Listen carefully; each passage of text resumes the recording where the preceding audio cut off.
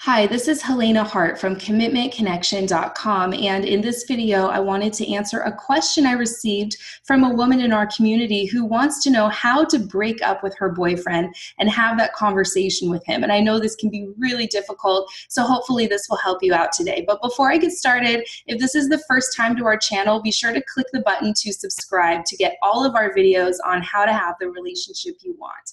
So, like I mentioned, I know this conversation can be really difficult it certainly was for me personally in my past and probably still would be today. You know, I tend to be really non confrontational and want to put other people's feelings ahead of my own a lot of times, like so many women I've talked to and coached over the years. So I know this can be difficult. So I'm going to give you some tips on how to do this because I found that it's really important to be straightforward and clear. And while a man might be heartbroken and he might not like the fact that you're breaking up with him, most men really appreciate someone who's just honest and straightforward and not giving him mixed signals or sugarcoating. So, the first tip I have for you is that you want to be sensitive to him but you also want to be really strong as well. So you want to end it on clear terms. I know the tendency to want to sugarcoat things, like I said, by saying something like, you know, you need some time to think, or maybe it would be good to take a little break. But I found that if you're sure you want to break up with him, it's better to just be really straightforward and don't use ambiguous wording or language. You want to be really clear. That's the first tip. The next one is, you know, don't focus on fault focus on incompatibility. So it's never a good idea to blame a man or make him wrong or tell him all of his character traits that you know make you feel like he's not the one for him that's really not going to get you anywhere because the outcome is going to be the same either way. So i would really focus on incompatibility and one little tip i'll give you here is that um, giving him a reason that he can't change is going to be helpful you know in terms of his own mindset. So if you say something like well we just don't have a lot in common or we haven't been getting along lately a man can try and change that and convince you to stay. Like, well, I'm going to try harder to get along with you, or whatever your reasoning is. But if you give him some really clear thing that he can't do anything about, like, you know, we've really grown apart over the past few months and I want to be on my own now.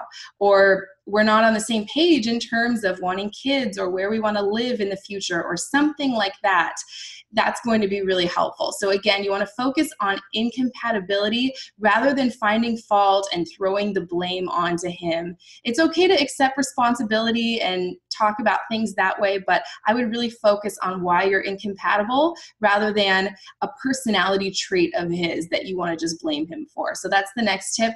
The third one is that, you know, it's okay to say that you really cherish the time you spent together and that, you know, you'll always cherish the memories you've had, but you don't want to give him mixed signals. You don't want to be flirty or, you know, give him some sort of false hope that this could change in the future. If you truly are done with a relationship and wanting to move on, I know this can be difficult. And of course, it's fine to say that you've really enjoyed the time you spent with him, you've enjoyed getting to know him. You just don't want to give him false hope that he could somehow change your mind because it's just going to prolong the conversation and prolong the breakup, which is already really painful as it is, I'm sure, for both of you. So the last tip I have here is, you know, after you have this conversation with him, don't be a available to him like a girlfriend or like someone he's dating.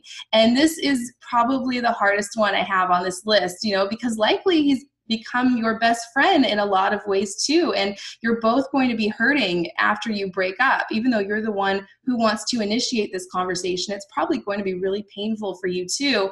And a lot of times it's like the one person you shouldn't talk to in situations like this after the fact is maybe one of the only people that can help you feel better because I'm sure the two of you had that deep friendship and bond as well. So um, just know that every time he talks to you, like if he were to reach out and call you the next day or text you or something, every time you respond to him in like a way that makes him feel that you're open to talking about things or reconnecting it's giving him that false hope and prolonging the breakup. And I can tell you this from experience. I was like the queen of prolonging breakups and having multiple conversations about it again because I didn't want to hurt the other person's feelings. That was really, really painful for me to go through myself. And I'm sure you've experienced that as well. So, as much as you can be really clear and straightforward and just let him know that, you know, you really enjoyed the time you spent with him, but you just feel like you've grown apart or you feel like you're not on the same page and you don't want to continue investing yourself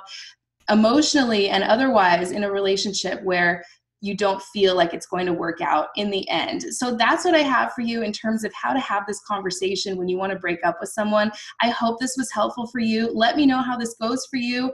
And if you have any thoughts or experiences with this that you want to share in the comments section, feel free to do that. And I will see you in the next video. Thanks for watching, and if you'd like to discover exactly what to say and do to get the man and relationship you've always wanted, click the button on the right side of this video to visit our website, and I will talk to you soon.